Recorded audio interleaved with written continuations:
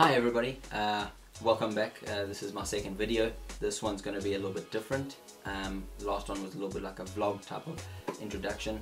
This one unfortunately where I went to I didn't get to vlog uh, so I've just got a bit of beautiful footage that you would maybe like to see and yeah uh, let me get into it. Just to tell you I think a lot of people can see my eye is yellow. I did not uh, or the outside is yellow. Uh, no one punched me so don't worry about that. Uh, I just came back from the doctor um, I actually have had something in my eye and they put this like yellow stuff in to kind of like paralyze your eye. So yeah sorry about my eye. Next time it should be good. Before quarantine um, me and my family we decided to go up to Lesotho. Lesotho is actually a country inside South Africa very beautiful country as well.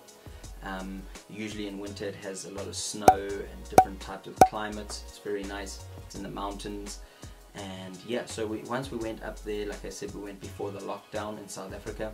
We got to the Qacha's Nek we went to Qacha's Nek uh, border. I'll write how you spell that there. I know it's quite uh, confusing and maybe hard to pronounce.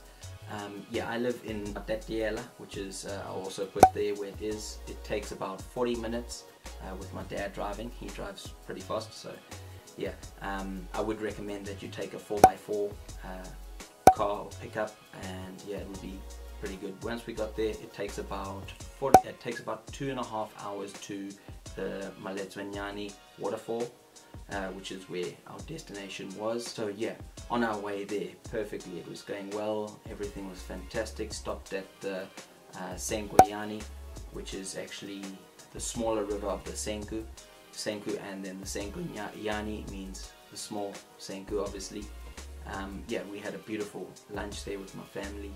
Um, I actually lost my drone signal. I did not know being so high up in altitude.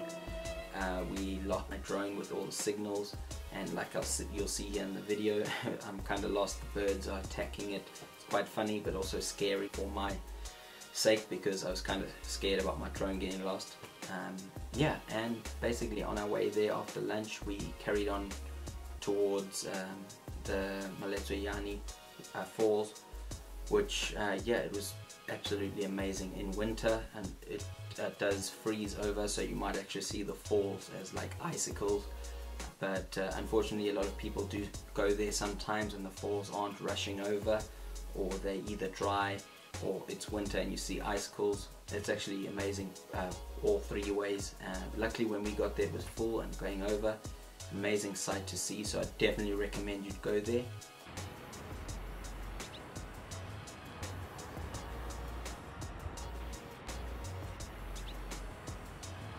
Um, yeah, and we met this uh, very nice guy there. He had his horse. He took pictures. He's a very friendly guy. What's the horse's name? Taburi. Taburi. Taburi. What does that mean? See, fast. Yeah. Fast. Yes. Um, yeah, he, like I say, he will take pictures of you and your family, whoever you're with. Beautiful place to go, and yeah, like I say, very friendly as well. We went to, we wanted to go look for drinks. Uh, me and my dad, we like to have a, a beer or two. So we went to go have uh, the Maluti, special Maluti beer, which is made in Lesotho. Actually, quite a tasty beer. Recommend you definitely taste that out. Um, we went to the Duck and Donkey,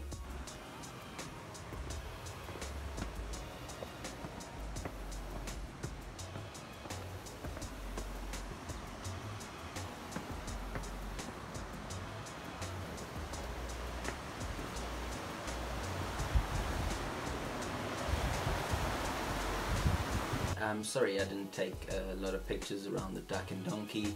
Uh, like I say, it was a little bit of confusion. I wish I actually could have shown you the atmosphere around there. There's actually a lot of like donkeys and horses and all going across the river there and it's a beautiful scenery. There's obviously a lot of websites about it. I'll actually put the link down below where it is so you can actually phone in. Unfortunately we could not have um, like a semi uh, supper or dinner because of the lockdown so they had actually closed the restaurant but we were allowed to have a few drinks which was quite nice. We had some cold meat so we just obviously ate whatever we had for lunch earlier.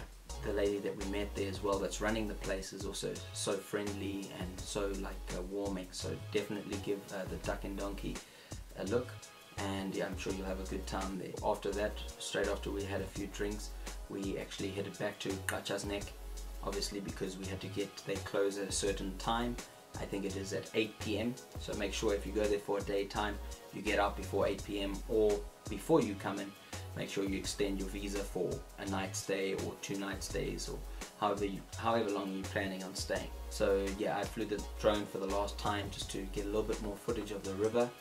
Um, I actually didn't know this, but uh, I saw that the I went uh, flew exactly directly on top of where the Senqunyane meets the Orange River and I'm sure if you've lived in South Africa, if you've been to South Africa or know anything about Africa, um, the Orange River is actually a very well-known river.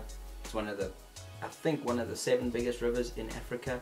I'm not too sure about that, so don't quote me on that, but it is a massive river and it's actually beautiful footage where you can actually see the Senqunyane, which is brown and it goes straight into the orange and you can actually see them mixing. Uh, I will show you right there in the video you can see them actually mixing in color.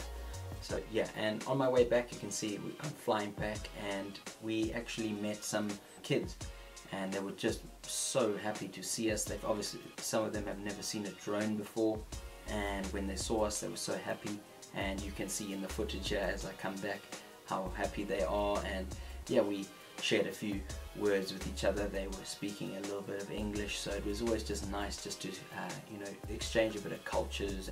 So yeah, after that, got back to Qacha's Nek perfectly on time, and yeah, I hope you liked it. Please uh, leave some comments. Please like, uh, I would like uh, any, you know, criticism or just some things that you could actually leave that are going to help me. And yeah, it's open to anyone. Please. I promise you right now the videos are, are going to get a lot better.